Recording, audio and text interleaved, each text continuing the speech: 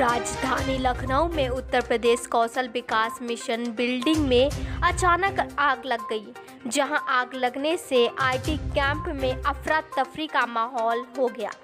सूचना पर पहुँच दमकल की गाड़ियाँ आग बुझाने पहुँची, जहाँ दमकल कर्मी बिल्डिंग का कांच तोड़कर चारों तरफ़ से अंदर घुसकर आग बुझाने में जुट रहे।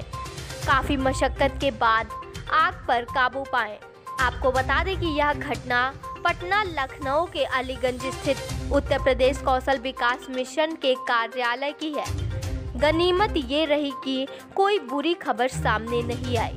प्रयाग एक्सप्रेस न्यूज़ के लिए अमन द्विवेदी की खास रिपोर्ट।